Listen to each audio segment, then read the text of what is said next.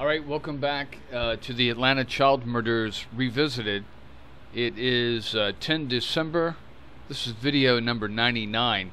And so, like I was saying, I go through hundreds of, well, not hundreds, but uh, yeah, I'd say hundreds of these videos a week, um, either through the UGA archives or the um, YouTube.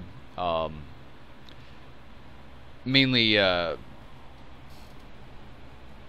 Foggy Melson's uh, archives there of news. And then I've been going through a lot of UPI and uh, AP uh, news articles and finding a lot of good stuff.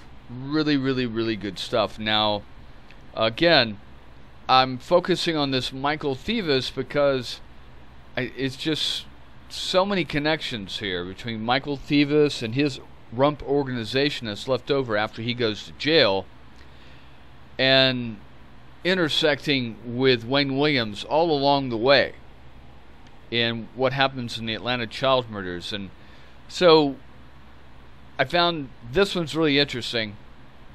It talks about uh, Hanna, who I believe was an employee or someone that was, Thevis was involved with their murder somehow. I don't know exactly how. Um, I do know after this time that there was another person that Thevis was accused of killing, that he had his uh, co-worker Underhill set a bomb, but I'm not sure if it's this guy or what. They found this guy in the trunk, so I'm not exactly sure who this Hanna is, but hopefully we'll be able to find out. And again, I'm going to do a whole new series of videos on uh, Michael Thevis. I'm just going over this because it has something to do with Jimmy Ginn. And then Jimmy Ginn, of course, has a lot to do with um, Wayne Williams. But anyway.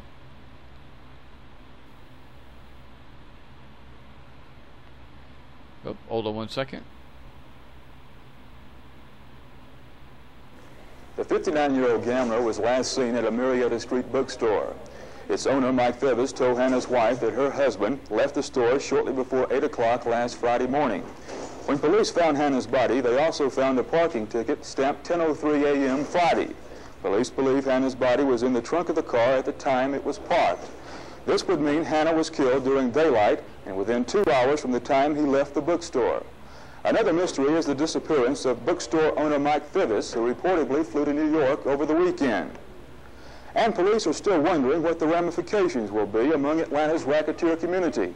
There is a theory that Hanna's death was brought on by an internal struggle among some of Atlanta's growing pornographic operators. Meanwhile, the deceased gambler's body has been flown to Fort Pierce, Florida for burial. His wife has been instructed by police not to talk, and the case remains a mystery. From Atlanta Police Headquarters, Charles Harmon, WSB News. Wow. So there's a lot to unpack there. They just threw out a bunch of stuff. It's very interesting. So he left Michael Thevis's pornographic bookstore, Marietta, at 8 o'clock. And then he's found in the trunk of the car dead. And the parking ticket, so he was found in the back of the car um, and then parked, I guess, in Marietta in the square there, and someone came along, a parking attendant came along and gave him a ticket at 10 o'clock. So that means, of course, he had to have been killed before 10. So between 8 and 10, he was killed, and then Michael Thevis um, leaves town and heads to New York. So that's very interesting. All right, let's see what else we got here. Hold on one second. All right, so the very next day, on the 19th of November, you got Michael Thevis in New York speaking through his attorney. So let's see what he has to say.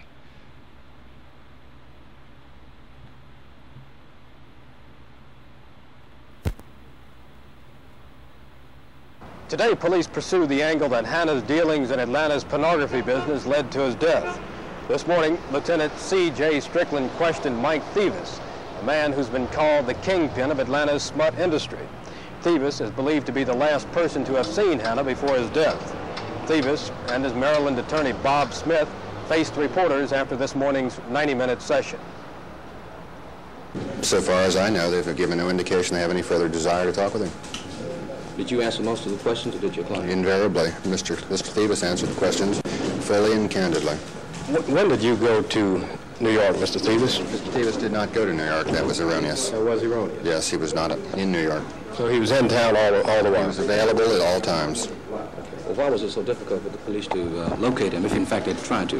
If in fact they were trying to, they tell us they weren't. And that's just what was told me by Lieutenant Strickland. No, sir. Nothing at all. I think the whole thing is pretty ludicrous. Uh, I don't have any knowledge as to what happened to uh, Mr. Hanna. He was a personal friend of mine, and I just think it's a terrible tragedy. Hmm. Interesting. All right. Let's take a look at this.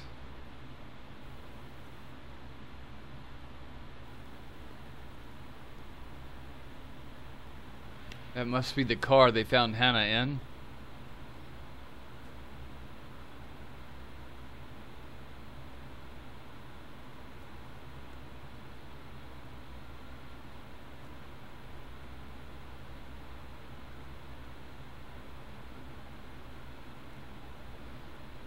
So Hanna must have been from Florida. All right. So basically, you've got Thevis wiping out his competition there. All right. So let's see.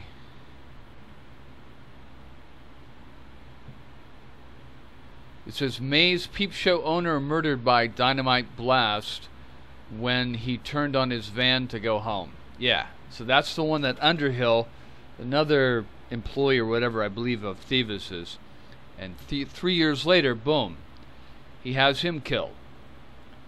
I, forgot exactly what it was, but I think he either threatened Thevis or threatened to expose Thevis to the police, and so he had Underhill kill him, and then he kills Underhill like five years later when he's under arrest and turns state witness for the police. He guns him down. It's a very, very violent guy. So let's see what he has to say here. This is September 13th, 1973.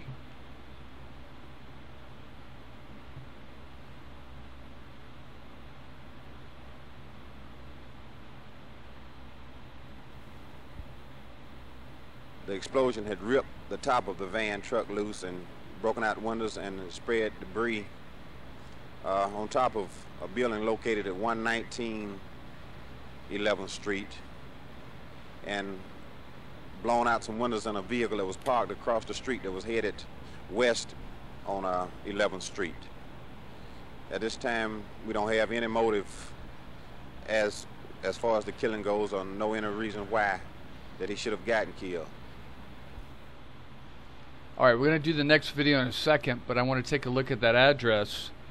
So remember, uh, Thevis had that studio at 125 Simpson, but right up near Techwood is where his um,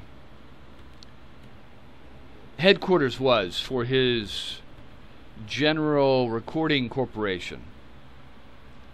So he's trying to basically launder his money and hide his uh, ill-gotten wealth by getting into the recording industry, the music industry, and uh, other types of movies.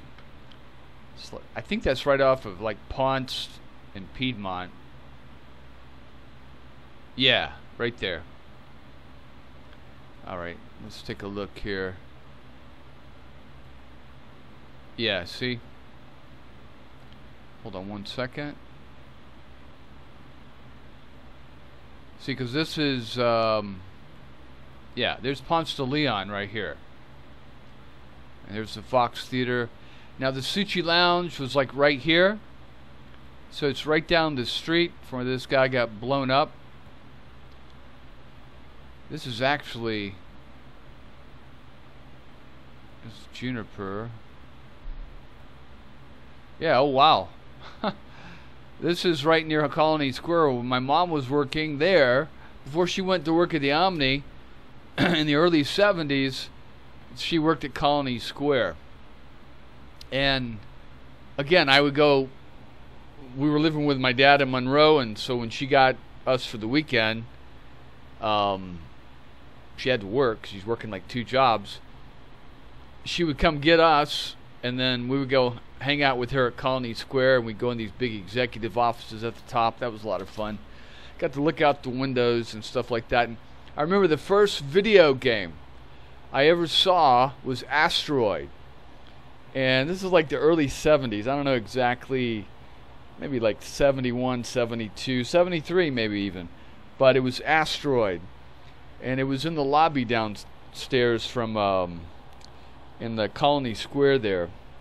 And that was one of the first games I got games I got to play. You know, parents when they're working, they give kids money so they can play video games and stay out of their hair.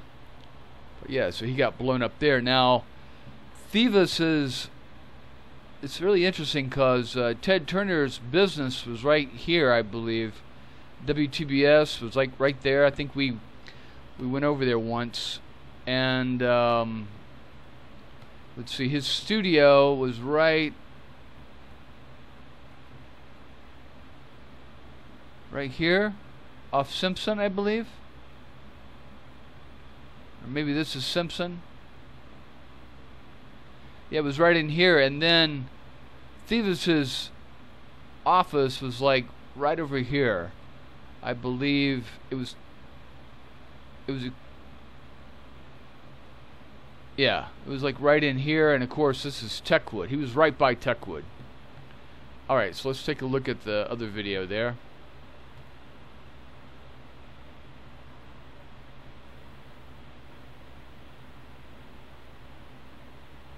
Well, we have no speculations at this time as to whether it was a, a gang war or any time. We don't really have any motive whatsoever at this time. He was running a peep show there at uh, 1029 Peachtree Street. Now, as far as organized crime or anything of this nature, we have nothing that says that he was involved in anything of this nature. We can find no record of him being arrested for anything. All right. So, you see, there's like this war going on with Thieves against all these other um, pornographers in Atlanta and in the South, and actually across the country, but especially near uh, near him. So he's trying to wipe out the competition, and let's go to that address there, 1029. Peachtree.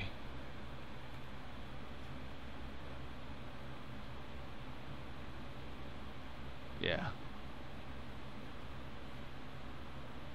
Wow, it's near the Federal Reserve Bank. There, I believe that's a big AT&T building there, but that wasn't there back then.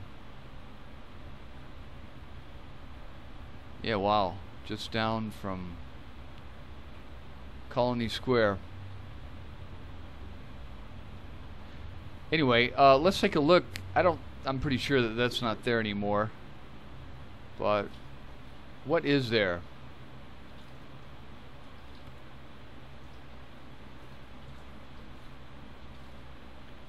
Oh, is it a park? Let's see. 1029 would be right there. I think. Yeah, 1029. That's a pop. Was that a restaurant? Yeah. Prime Cigar, Prime on Peach, Prime on Peachtree. So that's a restaurant. That's a cigar place. Cigar place restaurant. See, so this whole area.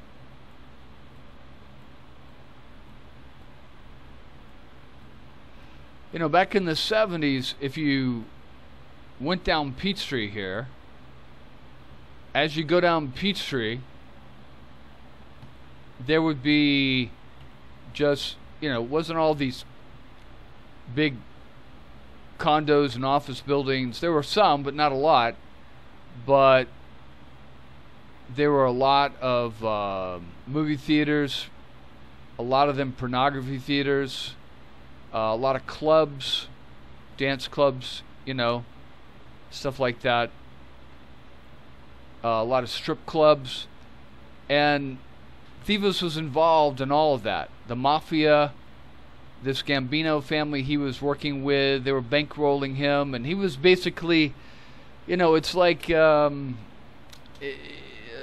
okay, like we'll say McDonald's Corporation. You may have McDonald's Corporation head, headquarters wherever that is, you know, Oshkosh, Wisconsin. But each city has a franchise, okay? And it, it may say McDonald's on the arches there, but that fran- that McDonald's and a couple other McDonald's may be owned by a franchise owner who may own a certain territory that he's bought from McDonald's, okay? And he bought the franchise rights for that territory, and then with those rights, he gets a certain, you know, a lot, most of the money, but he has to send some of it back to McDonald's Corporation, just like in any kind of franchise.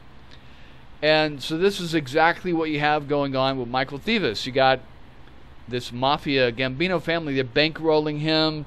You know, whenever he goes and buys a restaurant, it's not Michael Thevis' money. He may say it's his, but it's some offshore corporation, some New Jersey LLC that's set up as a front and that's handling the Gambinos' money that they got from Las Vegas or other ventures. And they're they're trying to launder it. Okay? So they're using Michael Thevis' restaurants and pornography and strip clubs to launder that money. Okay, they're silent investors. They're giving him the money. He's going in and, uh, you know, buying up these restaurants. And basically, it's sort of like this. If he comes to you and says, hey, I want a percentage of the business and I'm going to be a partner of yours, if you say yes, he's going to be a partner of yours, you're going to get money, da da da da da, and he's basically going to run it. If you say no, he's going to try to bribe you. If you continue to say no, he's going to try to threaten you. If you continue to say no, he's going to blow you up or kill you. So it's sort of that kind of, you know, mafia. They do this all the time in the Russian mafia over there, which is exactly what Putin's doing over there. All right, so that's what Michael Thevis is doing. And I remember, you know, my mom would take us to uh, the Fox Theater because at one end you had Colony Square, and on the other end you had the Fox Theater. And somewhere around Piedmont Park, I believe she was living. She had an apartment or something like that. I seem to remember. You know, but I'm like five, six years old. You know, so I'm not really paying much attention. All I remember is as we went from the Fox Theater, which is what down here, driving up Peachtree, there'd be all these glowing lights from all these. Um, you see, they got all these parks now, but this was it. It wasn't like this back when I was here. You know, all these had clubs in them. Oh, there's this. There's that club again. Yeah, they had clubs, they had strip clubs, they had porn theaters, all this stuff, you know, stuff was going on. And they, you know, they ruled the night. That's how the mafia makes their money. They they are either selling things that are illegal or they're doing legal business but also fronting illegal things through that legal business. So they may have a strip club but involved in that strip club, they may be running, you know, prostitution out of there.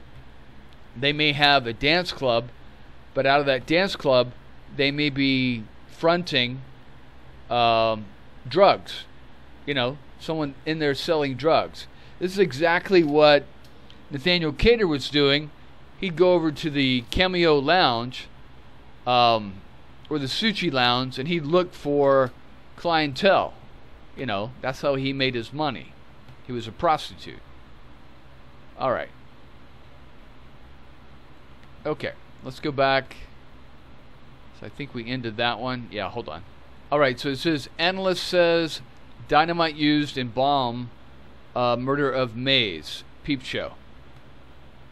All right, so let's take a look at that one. So basically, he tried to bribe him. He tried to muscle his way into the guy's business. The guy said, no, go fuck yourself, Michael Thevis. And Michael Thevis had him blown up. Pretty simple. Yeah, there you go. And this is from uh, 20 September 1973.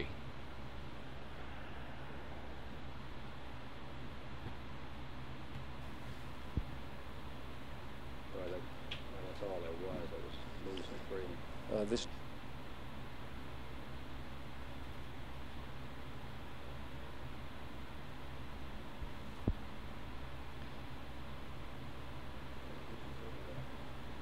Oh, well, now, but just a tiny bit of it. And we use these, these plates over here. So did he say toilet? Hold on a second.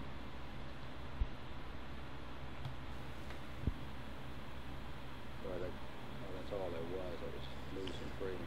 Uh, this I think he blew him up in the toilet.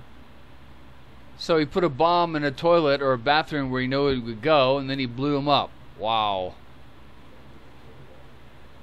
Oh, well, of it. And we use. Wow. Yep. All right. So this is really interesting because after this, I've read about some other stuff about Michael Thevis. After this guy gets blown up, that's when the police and the FBI start really focusing in on Michael Thevis and his businesses.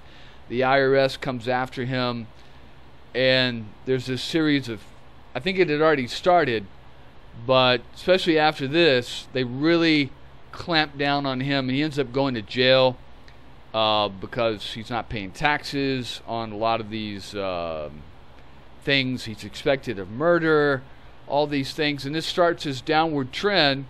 And they go after his person named Underhill, who's the guy who set the bomb.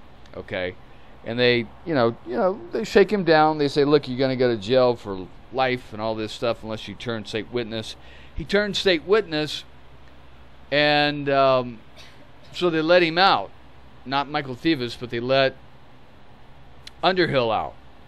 And so Underhill's still in Atlanta, and about five years later, 1978, Michael Thevis breaks out of jail. Okay, and he comes back to Atlanta, and he kills Underhill, and then he gets caught because he's trying to withdraw money from some bank in Connecticut. Just like a couple months later, but this is really interesting. So when the when everything the scrutiny starts the screws start turning on him and the scrutiny comes all of a sudden Jimmy Ginn who's running hotlanta records who's running um, Ginn music i think he's also running that general recording corporation for Thevis. this is what i'm thinking um, starts modern films so on the incorporation uh, for modern films, it starts on 15 October 1973. Within a month after this Mays guy is killed, and then that's when the government starts hammering down on uh, Michael Thevis, which I find that very, very interesting. And let's see, is there anything else here? Oh, no, he's not arrested for about three years. I could be wrong on that.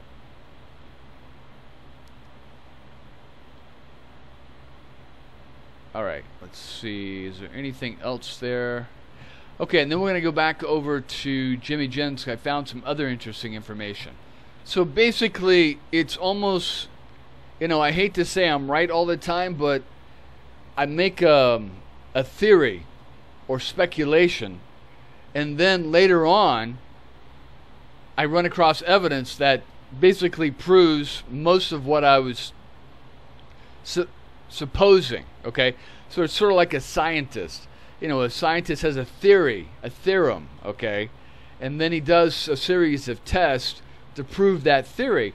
well, I'm not doing any tests. I'm just doing research, and I'm randomly coming across these things, or systematically, actually, and it almost backs up almost everything that I was theorizing. So my theory is, is that Michael Thevis, once he gets busted, or before he gets busted, he starts dispersing his assets because he doesn't want the government to come after him and get him and take everything. So he sends off some, you know, the film industry and the record industry over to uh, Jimmy Ginn, okay, who would have been, what, let's see, Jimmy Ginn was born in 1946, so in 1973, he would have been 27, okay? So he starts dis- uh, dispersing, you know, his um, assets amongst different people. Jimmy Ginn, his secretary, his wife. Oh, his secretary is the one that would go visit him, and then the police would watch them, you know, hanky panky um, in the office, the commander's office at the jail, and then she's the one that helped him escape. And also, she was secretary, his girlfriend, was the one that was found in the car at the bank and they had what over fifty thousand dollars in the back trunk of the car, and she was charged uh, with some things also. But they let her out on bond actually. But anyway, so yeah.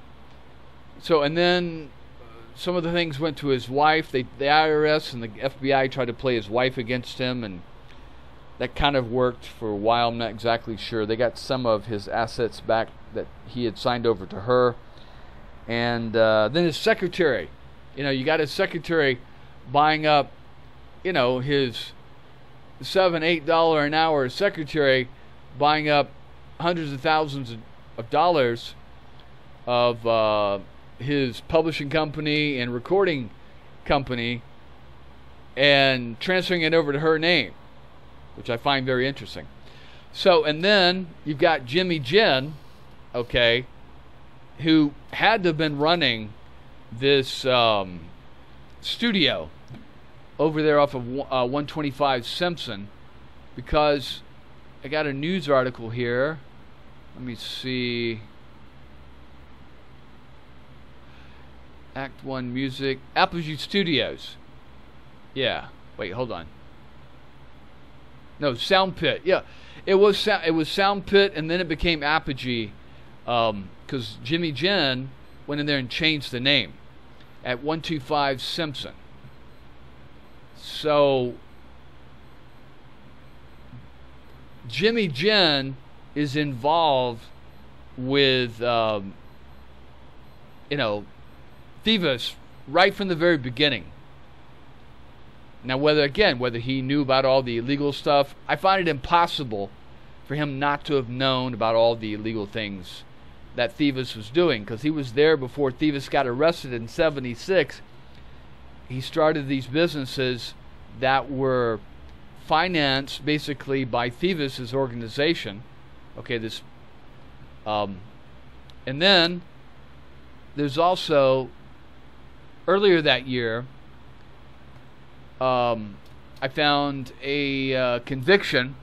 There's an appeal for conviction that in, on 16 February 1973, um, I found an appeal for conviction for passing counterfeit money to purchase TV sets. And that was against Jimmy Ginn. So that must have happened like in 1972. And again, you've got him living over there off a of Hightower, right down the street from Wayne Williams. The house was built in 1958. Still trying to find out when he lived there. Okay. Um, he attended Morehouse College. Actually, his son attended Morehouse College 1988 to 1992. And then again, you've got his son living all over that area where all the kids were disappearing right across the highway from Stewart Lakewood Shopping Center over there at um, Lakewood Fairgrounds it's really interesting. And then I'm going to go over this later, but there was something happen here with um, anyway, this Curtis Terrell did a GoFundMe because I guess he had had a stroke or something a couple of years ago. But remember, Jimmy Ginn's father died in 2016. And then what you see is that all these incorporations, uh, business listings start happening after 2016 under Jimmy Ginn Jr. All right. And uh, let's see, just scan through this. Yeah, there's modern films, but that was incorporated 15 October 1973. Again, it's right over there off Memorial. And let me see here. Also, Modern Films had a another location at 341 Peachtree. Okay, and let me show you that one. This is another address that they had. So they had this one off Memorial, and then this is back in the 70s, and then they moved it back in the uh, the late 70s, early 80s. They moved it up to this other location in Buckhead. And let me show you where that's at. So, again, the dates are really, really hard to place, but I find it very, very interesting how close they were to everybody. So here, okay, right here off Peachtree Avenue, this is Peachtree. Over here is Piedmont. And guess what? If you go up this road here, okay, and then if you go, so what is this? West Far Road? No. Yeah. So if you go up here to Far Road, over this way, you're right at Shadow Lawn. Okay? Right where Wayne Williams was taking these kids, again, nearby so you had Wayne Williams taking the kids to this Ginn Music owned Hotlanta Records down in College Park to audition kids there. You had Wayne Williams taking kids to this 125 Simpson Road address, formerly owned by Thevis and now owned by Ginn Music. And then I'm going to show you where Jimmy Ginn actually tried to buy this at the auction after Wayne Williams was arrested. And then you've got another location for another business owned by Jimmy Ginn, which is this modern movies, whatever, what's it called? Uh, modern films. And it's right around the corner from the Shadow Lawn location where Wayne Williams is bringing kids again. So you got one, two, three connections with Wayne Williams right there, plus the Hightower location where his dad lived, right down the road from when Wayne Williams lived. And then you got all those connections with the Lakewood addresses that his son's living at, but this is like 30, 40 years later. Very, very bizarre. All right, and then let's see. And then he owned a Lakewood Antiques Market.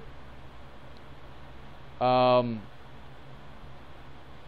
and this Ginn Music Group, okay, was listed at this rental address 1440 Lakewood Avenue. Okay? Just right down the road from where we had this Lakewood Antiques address. And there's another one here.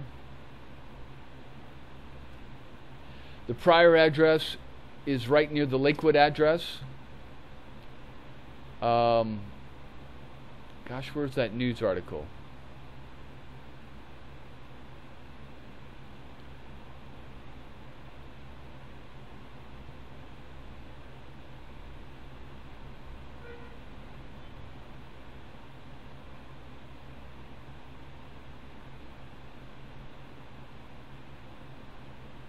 Hold on one second. Ah, so I just found this one. So you see this one here you've got Atlanta Sound Pit Productions. Okay, that's the name of the studio. Okay, that Jimmy Ginn lost in the IRS um, bidding, and he lost the uh, lawsuit. and that was May June of 1981. And, and look at the address right there 881 Memorial Drive. It's the same address as the movie production company. Okay? So, where's it at?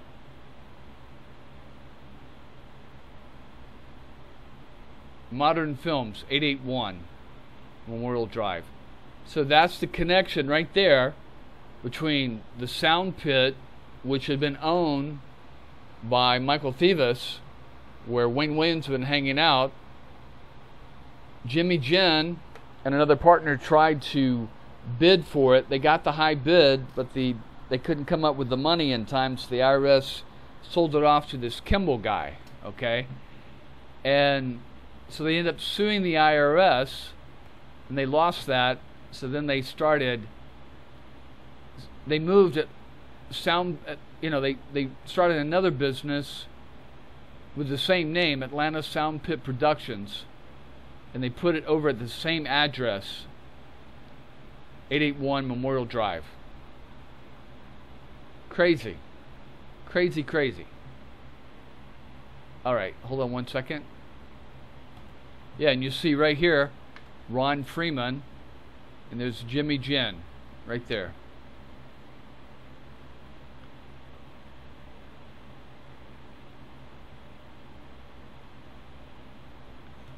Hold on one second.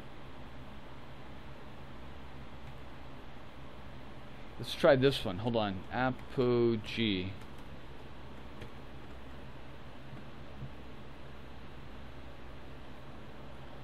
All right. Let me let me go through this real quick. Yep, there we go. So again, what what do we learn from this? So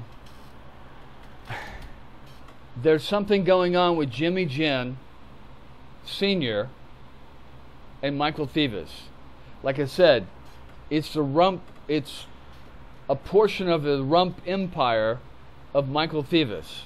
When he gets sent off to jail, he divides his empire between Jimmy Ginn, his secretary, his girlfriend, his wife, and then he's running it from jail. Matter of fact, he gets sued by the IRS because they take him to court. I've read some um, lawsuits from the IRS, and like as late as 81, 82, they're saying he's still running his empire from jail. And he's using this um, these people, Jimmy Ginn and uh, his wife and his girlfriend, just for the paper, the paperwork. But it's really him running it and backed by, you know, the mafia money. So I'll put it to you this way there's no way in hell that Jimmy Ginn came up with millions of dollars to buy all these the movie business, the sound pit, all the other leftover assets of Michael Thevis's empire. Okay? He had all those record labels here, I'll show you. You know? And Ginn Music owns the rights to all of these businesses, Act One Music. So he owns all the residual rights for that. Anytime someone sells something from Act One Music, Jimmy Ginn's Ginn Music is getting a, a cut of it. Apogee Studios, Aware Music, Bill Haney's Music Estate. Okay? I, I saw a record shop. I came across a record shop on Google in England and Australia that was selling Bill Haney records. Okay? So every time they sell one, Ginn Music's getting a little bit of money. He inherited this General Recording Corporation. All these different music labels. Hotlanta Records. Okay? So, you know, like I I had this boss in Texas. I worked for this bottled water company, run around tracking down all these water um, dispensers, and he was really wealthy. My boss uh, was like in his early 30s, driving one of those red Ferraris like Magnum PI, and he had a lot of money, and he owned this water company. Okay, the biggest in all of Texas, I believe. And back in the warehouse, back in the back where they had the filtration machines, was this older guy, and they were Greek, and so the guy would, had a really bad attitude, and he was always yelling and screaming and cursing and all this kind of stuff. But this Greek guy, when he lived in New York, he came from Greece, or his dad came from Greece, and he was a janitor. And so back in the 70s or so, he came up with this idea for a soap dispenser that you would just, you know, the ones you go up and you put your hand underneath it and you either pull the lever or it automatically senses your hand and dispenses the soap. He got the patent for that. Okay? Being a janitor, he came up with a patent. And he got rich from that. And what that patent does is anytime anyone wants to build or manufacture those little soap dispensers, he's got the patent for 20, 30 years. They've got to pay him a residual. Okay? And think about how many goddamn bathrooms there are in the United States and how many buildings there are around the world. Around the world. Okay? He's getting a percentage of that. You know, if you got a soap dispenser that costs $10, he's maybe getting 50 cents, but my God, 50 cents out of a billion fucking soap dispensers. You'd be pretty damn wealthy. And so this guy who was a janitor got all of a sudden very, very rich. He took all his money, he moved down to Texas, and he had like four children, five children. And as they all went to college, he paid for them to go to college. They all got a degree in business or whatever. I'm sure not basket weaving or fucking Eastern philosophy. And as they came online, he handed them a business. Here, you're going to run the water company. You're going to run, I think it was an aviation fuel company that they had that would check aviation fuel to make sure it was good. And there was like all these other businesses that he would just take his money that he got from his residuals and buy up all these businesses. And then as his kids came online, he'd have them run it. Now, my grandparents did the same damn thing. I had a granddad that was, you know, owned a bunch of land on uh, St. Simon's Island and Cumber or no uh, Jekyll Island as it started to be developed in the 50s and 60s. He got wealthy and he sold, you know, those little parcels of land, or he leased them out, and he got rich. And so he took his money and he bought back in the 50s a concrete company, a bridge company, and a road company.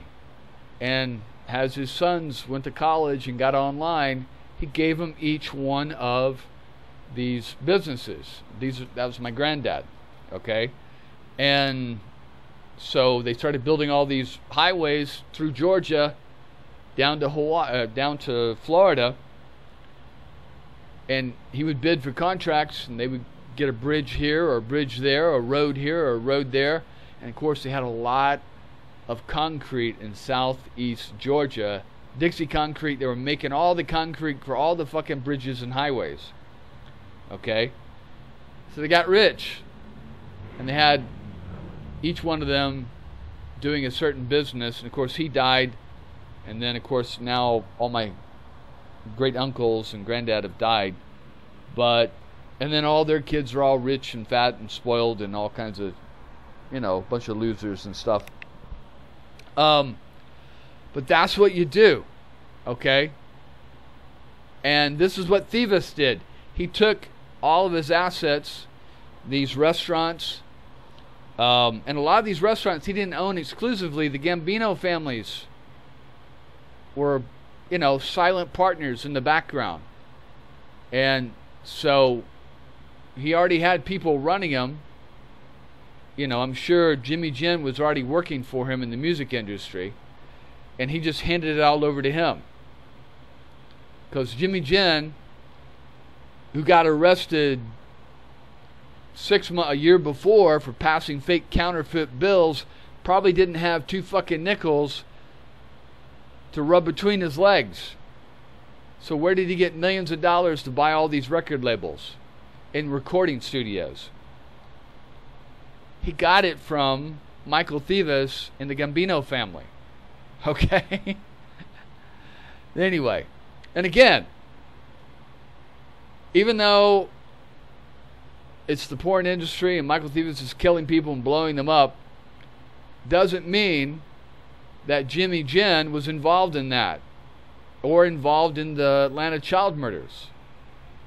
But, you know, birds of a feather. That's all I can say. Birds of a feather stick together. You're not going to have little church ladies getting involved with pornographers, okay, and running their business.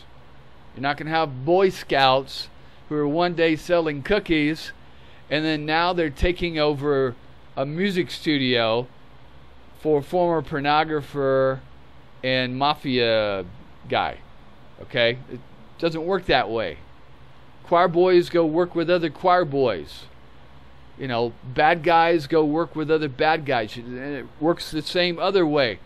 You're not going to have Michael Thevis's cohorts who've been blowing up people and assassinating people and running peep shows and selling drugs out of clubs. They're not all of a sudden going to become choir boys and start running churches and, you know, civic organizations. It doesn't happen that way. So maybe Jimmy Ginn doesn't know anything. Maybe he's completely innocent, but I doubt it. You know, I've worked with other company people found out they were crooks and I quit because they were fucking crooks or maybe even criminals. Once I found out, if you stick around and you know something's wrong, then you're just as guilty as they are. So anyway, Jimmy Ginn Sr. was involved with Michael Thevis in the very beginning. And when Michael Thevis got in trouble with the IRS and everybody else for murder, he handed over all the recording stuff, the studios, the record labels to Jimmy Ginn. Okay? And then all the restaurants and the cigar shops, all the porn shops got shut down. The IRS got rid of those. But all the other ones, the restaurants, the legitimate stuff, okay? I think he had a publishing company. That got all distributed between his wife and um, his uh, secretary and his girlfriend. But Jimmy Ginn looks like he got the majority of the legitimate businesses. I didn't list here. There's a publishing company he also got. Okay. So, birds of a feather, my friend. And then again, you know, you got Jimmy Ginn Jr., who's 12 years old when the Atlanta murders are happening. I, again, birds of a feather. Um, if you're raised by a criminal, you're most likely going to be a criminal. Not all of them. He could be a choir boy. I mean, how many times we see how many of these people whose dad was a murderer, they became a minister? But, you know. I very much doubt that. But I, I find it strange that Jimmy Ginn's living exactly in the exact area where all the pornographers were living, right next, you know, the. Okay, here, let me let me show you again. Um, hold on one second. All right, so this is where Modern Films is located, and then this studio gets located here, the music studio. Right here is Cabbage Town. It's not a very big area. It's basically bordered by the building that Modern Films is located. This street right here, all the way over to Oakland uh, Cemetery, up to the, the railroad tracks, and then down to Memorial. That's Cabbage Town. And everybody, everybody knew that there was something going on with child pornography in Cabbagetown. Everybody knew about it. I remember it. And I was 13, 14 years old, and I remember hearing the stories about the Cabbagetown pornography that was going on. Okay, and here we have one of Michael Thevis's cohorts has a movie production studio that opened up right there, right after Michael Thevis started his decline. So everybody knew about it. Okay? And then, right near here, is where all these kids are disappearing. Almost every kid disappeared from here over into Cobb County. Okay? Right here, one kid disappeared here, he was found here. Many of these kids live back in this neighborhood here. Another kid disappeared right here off of Second. Darron Glass completely gone. Another kid was right disappeared at the Crystals right here. Many of them disappeared right there. Okay? Right here is Moreland. And then down Moreland's where all the other kids disappeared in DeKalb County. And this is Grant Park. Okay? Over here, many uh, one body was found here. I believe um, two of the kids were almost kidnapped here. And then you start working your way down to Lakewood. And then you've got the pornographer who was convicted in May was living here. And then right here, 40 years later, in this neighborhood, is where Jimmy Ginn Sr.'s son sets up all his businesses and is living right across from Stewart Lakewood. We all know about the Alamo um, motel, the pornography motel there. Of course, Lee Terrell disappeared from the swimming pool right there. It's all the same fucking area.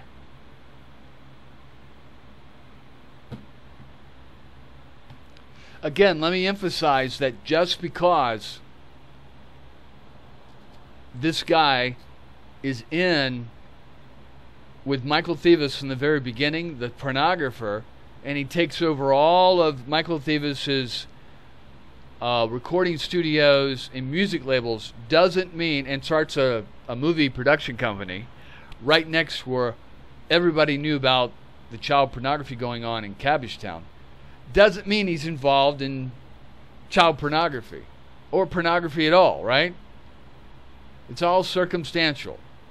But my God, it's pretty fucking close, wouldn't you think? And just because, well, let's just take it on down the line. Just because he's maybe involved in these music studios that Wayne Williams keeps plugging into and running through and taking these kids through. And he may be involved in the pornography industry and maybe even child pornography, doesn't mean that Jimmy Ginn was involved in the murder and strangulation of all these children. It could be completely separate, parallel crimes, okay? Or actions. But, again, it's a small fucking world. Again, everybody knows everybody. Five degrees of separation. Okay? Anyway, so we're going to move on back to my um, at kid master timeline, and where I left off was Angel Lanier. Okay, we're going to go over this for March 1980. So this is Wayne Williams got his car repossessed. So for three months or two months, January, February, he's got no car. Okay, or at least that his dad is letting him use. So somehow he gets a car and then he's out working it again with Angel Lanier. Now, how do we know that Angel Lanier, okay, was murdered by Wayne Williams? Well, there's not a lot of evidence, but we'll go over what we have. I'm sure I'm going to come across a lot more. Angel Lanier uh, lived at 1660 Stanton Road. Let's take a look at that. Okay, oh, she was 12 years old.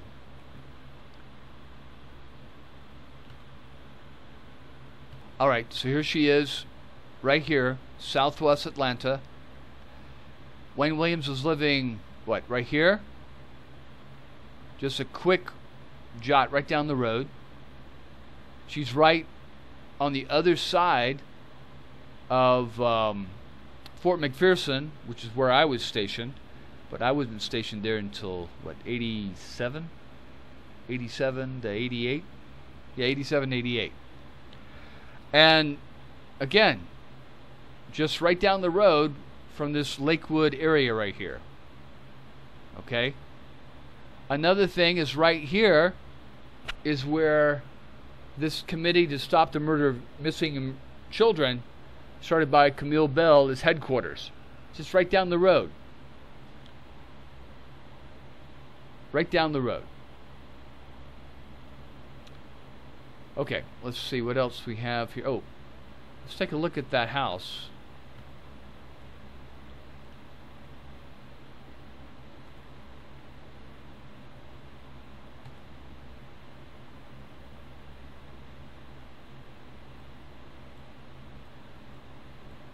Oh, I guess there's apartments there now. Okay.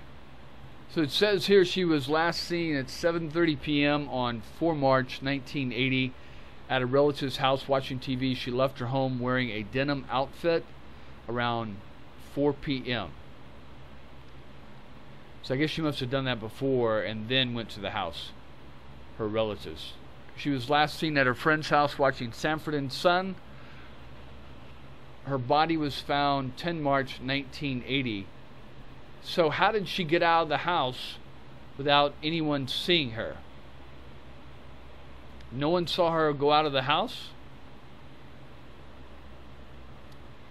That's interesting.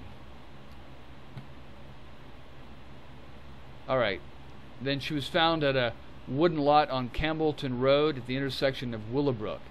Now, I've got an approximation of a geocode here again, I'm taking the addresses and kind of doing my best guess at the geolocation.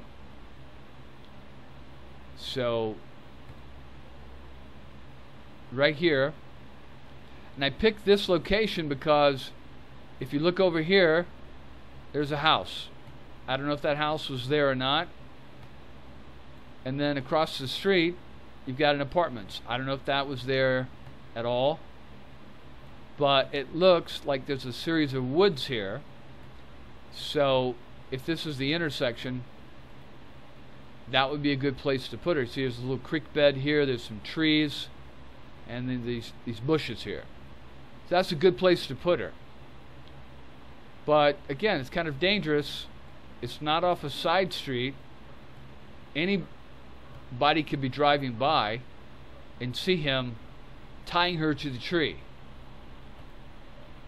So I find that interesting. It says two men were questioned, one of which wore a belt fashioned of an electrical cord and had been arrested for grabbing a child. This man lived at 1720 Beechwood. Now, I wonder what was the story on why the police were questioning them. What was what was the police suspicion? Was someone a witness? Did they see something? Did they notify the police? How far is this from where the body was found? 1720 Beechwood, Atlanta. Can it find it? Nope, it's not able to find it, it's saying. Let's see. There's there's Avenue. Let's try Boulevard.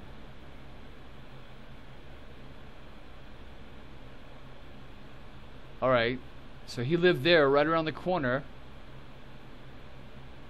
Okay.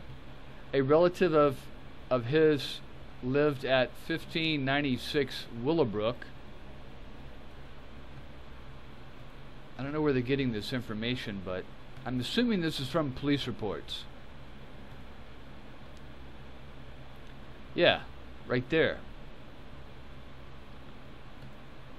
Um, it is suspected that she was held at in the homes of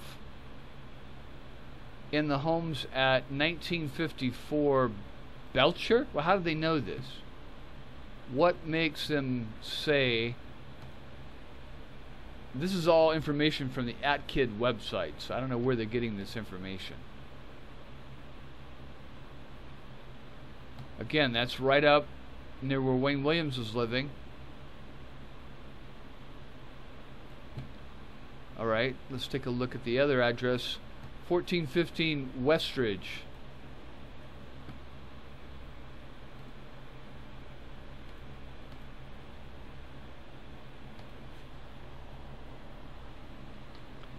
Okay, this is right up the road there. So, Angel Lanier's body was found in a wooded lot on Campbellton Road at the intersection of Willowbrook, southwest, three blocks from her apartment. She was found in the clothes she left home in.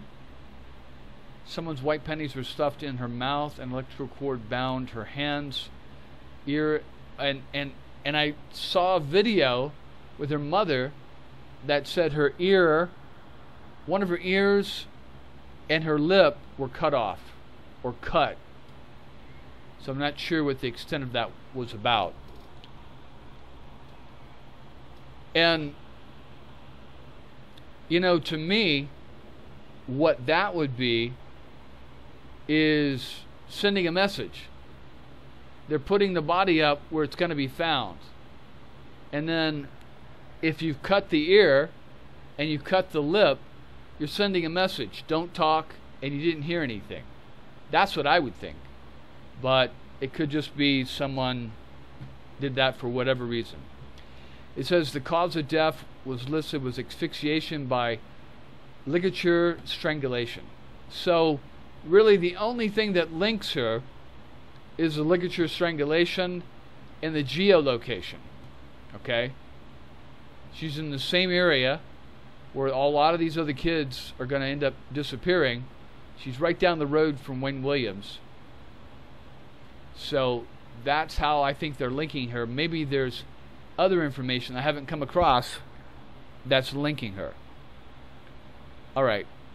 And let's see, hold on a second. So we've got uh, Jeffrey Lamar Mathis. Now he's right up the street. And it's only, what, about a week later that he disappears. He's 10 years old. He lived at 471 East Ontario. Let's take a look at that. Again, he's right up near where Wayne Williams lives. Just a very easy drive right here, straight down. Also, just right down the road from where she was found. What, right, right there? Yeah, right here, right here. So not very far. Okay, let's read some more about him.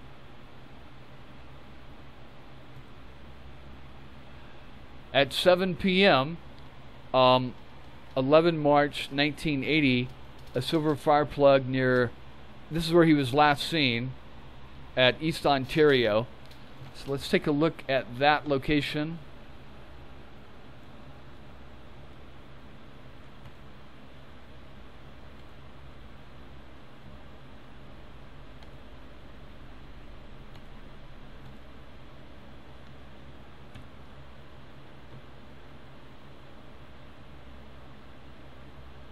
Oh, wait a minute. Got the wrong geolocation. Huh, interesting. Okay, hold on one second. Alright, so here's the intersection. This is Overton, or Ontario, excuse me, and Ralph Abernathy. And there's the store where he was seen at. He taps at the window. There's a silver fire plug. and the blue car came by. A witness said she saw him standing at the silver fire plug. A blue car came by, and he willingly got in the car. He wasn't forced in the car or anything. It says getting into a blue car with a light skinned man and a dark skinned man. Jeffrey Mathis was last seen leaving the Star service station on Gordon to buy cigarettes or loaf of bread. Now, where is Gordon? Hold on one second. Well, I can't find Gordon. Uh, but again, he was seen right at the intersection here by that silver plug. Uh, so he was wearing a gray jogging pants, brown shoes, and a white and green shirt. Uh, the barber W.A. Williams on the corner of Gordon and East Ontario saw Mathis knock on his window. So it's off of East Ontario. Hold on one sec. So this is weird. So if he lives here, but he was seen here off Ontario and Gordon, and he taps on the window, but then a witness comes along later and says they see him over here at the fire plug. That's kind of weird.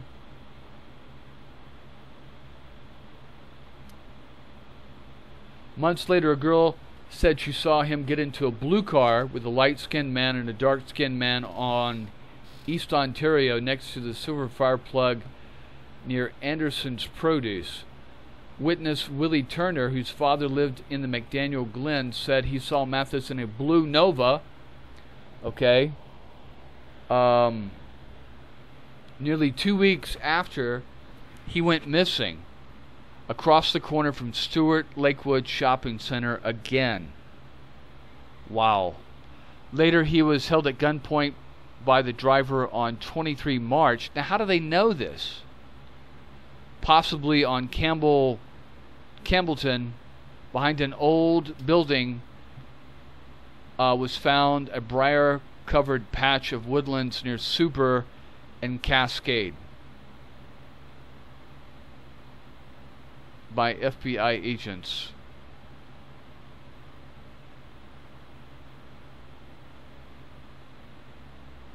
Huh. Hold on one second. Again, so Cascade is just right here. If you follow Cascade over, it goes over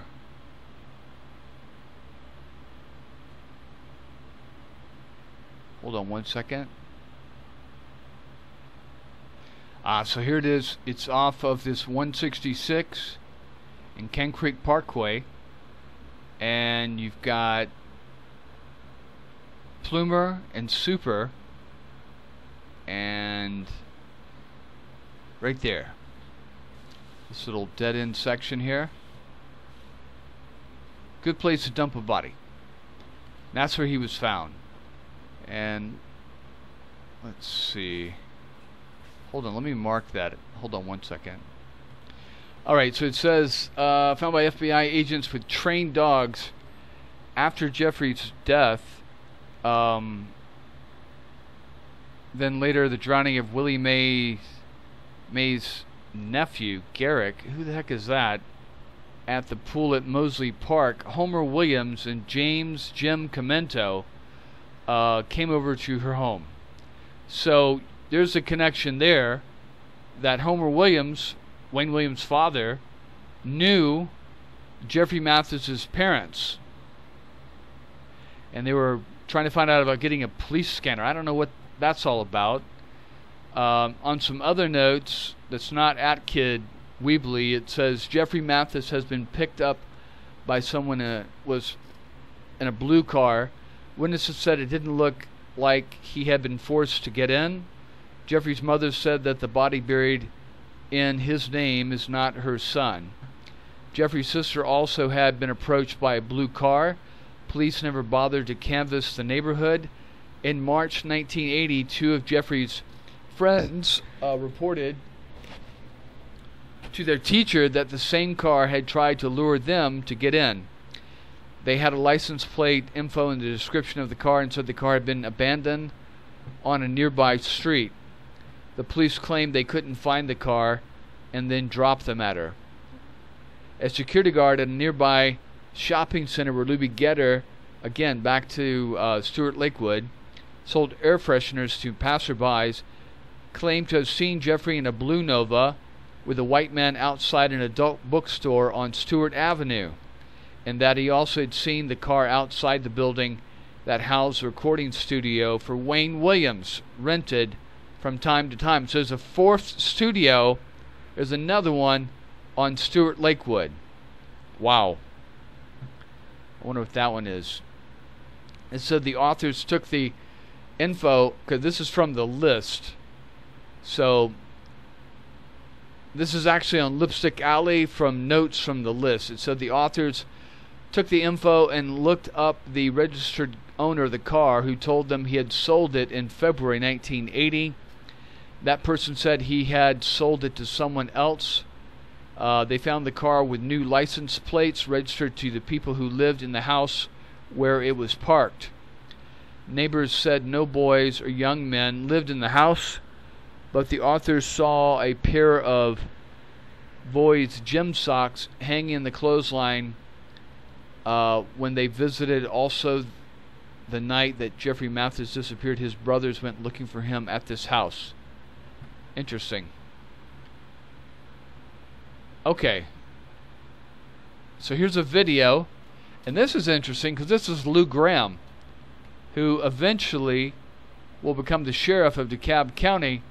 And in 2005, I believe he tried to reopen the case of the DeKalb County murders, but then just as a just as quickly uh, dropped it. Also, I think it was a a stunt because he was running for public office.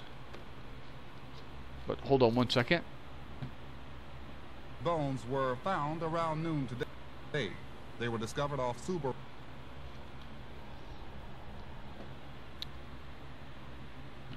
Wait, hold on one second. Road.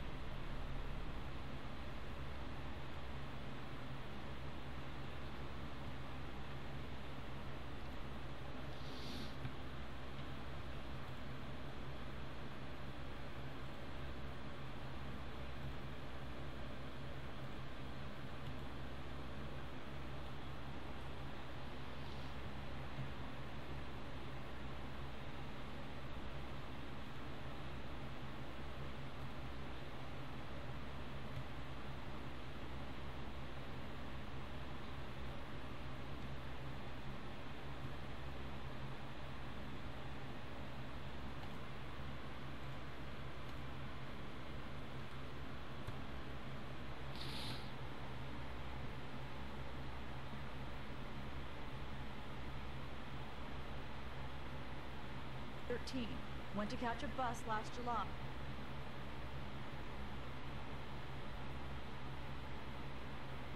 Hasn't been seen since. Milton 14. Left home to do an errand last September. Hasn't been seen since. Jeffrey Mathis, age 10, went to the store for his mother two weeks ago and hasn't been seen since. Hundreds of missing person calls come through here each week, but the thing that is concerning the police is the high number of young people missing. Kids too young to be thought runaways. And there's another concern. In several of the cases, the missing persons have been found, and their files were brought here to the homicide squad. And homicide detectives are now trying to see whether there may be a connection in the cases. There are some similarities in some of the deaths, only in respect that they're young black males or black females And in a couple of incidents, uh, two of the young girls were on the way to the store and were missing for a period of two days to seven days that later turned up uh, found dead and stabbed. So police are still looking into the murder of nine-year-old Yusuf Bell, checking into the mur murder of 14-year-old... So, so that's interesting, because he just mentioned two other females who were on their way to the store and were later found stabbed, but they weren't included on the list. That's pretty interesting. So. Edward Smith, who was shot to death, and the murders of at least four other young people. all reported missing, all discovered killed. It's unfortunate that uh, right now that so many of these young people that have been found dead or unsolved, it's difficult for us to uh, determine the motives. And this is the problem that we've been having in two or three of the incidents. We need a motive to uh, initiate our investigation, really. This is what gets it off the ground. And we haven't come up with any motives. Of course, one has to wonder what's happening, just uh, what happened to the child, because once we find the child deceased and we never pick up a lead as far as to what actually happened to that particular child, we have to wonder what's happened to him, but we just don't know. Authorities told me they do not think at this point that one person is responsible for all the disappearances and Hmm. deaths. And Wow. all we can do now is just keep checking on leads. At the Atlanta Police Department, Hank Philippi, Action News. So, if you l- learn about the FBI profile, the profile says that the killer would be watching the news and following the news intently. Okay. Little did the FBI profiler knows would know that the killer was actually involved in covering the news. Wayne Williams was a stringer for news companies. So I find that interesting that Wayne Williams is watching this and he's getting a little chuckle. He's like he's like fucking with the police like ah, see they don't even know it. It's me. They think it could be a couple other people and they don't know what the hell's going on. And we'll just keep doing this because they have no idea what they're doing. So I find that interesting. Now, I remember this time specifically very, very intently because I was in eighth grade. It was springtime.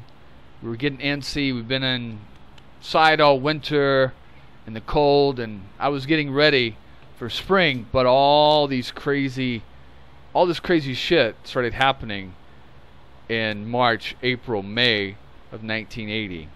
So you had like Mount St. Helens blew up. I was totally fascinated with that. They had, um, I remember, used to go to Six Flags, and they had this big dome type of uh, building. You go in there and sit down, and they had this film that they would show, and it would go kind of up the dome, you know. So it was kind of covering above you, and then in front of you, and then on the side too. So it was almost like 3D. And they had taken these cameras, so kind of a new way of filming, and put them in these boxes. I think they put like two or three cameras in the front and one camera on each side or something like that and then one on the top and one on the bottom and it kind of gave almost a 3d kind of uh, feel to it they put it in this box underneath the helicopter i believe or airplane and they flew it around mount st helens after it blew up now this is maybe a year or so later they did this um, but it was amazing. It, the film was totally incredible. I just remember sitting there and, you know, we're looking up. You can see the sky. You're looking down. You can see the ground. You you look to the right, look to the left, and look ahead of you. It was really amazing.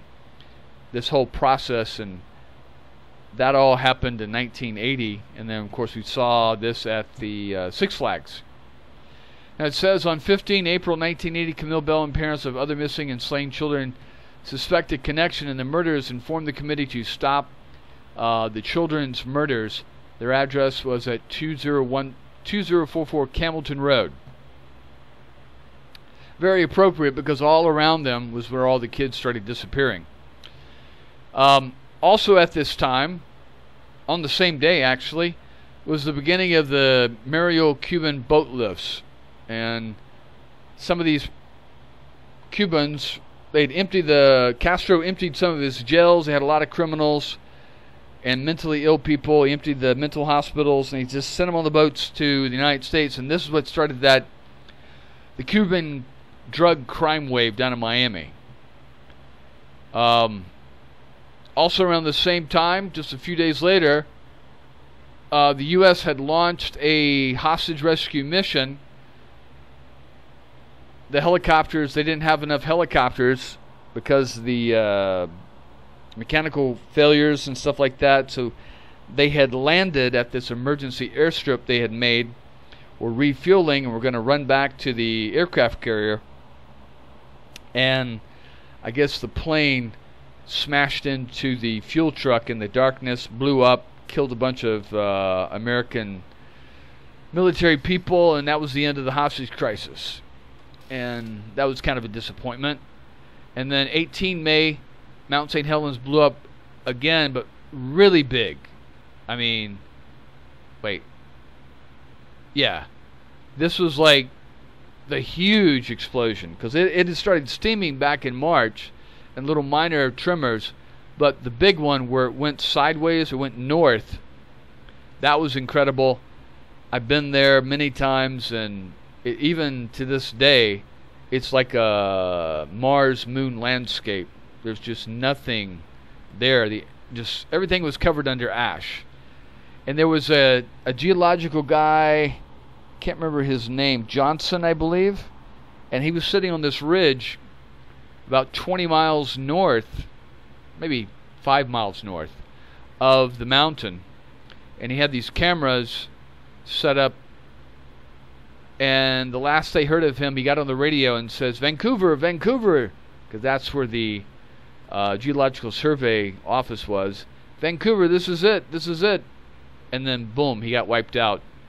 And so they call it Johnson Ridge because he was buried under this ridge of ash where the mountain went from 10,000 feet and then just started sliding northward for the next 10 miles and just wiped out everything. Because when the volcano went off, all the snow on the mountain all melted at once and it liquefied all the ash and all the the soil and it was like a tidal wave you know but it was a tidal wave that was like 300 degrees Fahrenheit and it just wiped out everything but that was pretty incredible um, let's see and then on the same day that Mount St. Helens erupts because see I'm in high school or junior high, and every day you come home, there's something happening in the news here. you got national news, international news, and then you got the local crazy news about the Atlanta murdered uh, children going on. All right, so we're going to stop here, and we'll get into um, what happened with uh, Eric Middlebrooks on the next video when I come back around um, to reading the AtKid timeline. So let me mark where I'm at here so I don't forget. And uh, we'll get into something different next time. Let's see. I don't know yet, but we'll figure it out. I think. Um, hold on one second. Yeah, I'm going to finish up on that uh, Supreme Court case. There's some more information on that I want to read and get on to the uh, record here. All right, take care. All right, bye bye.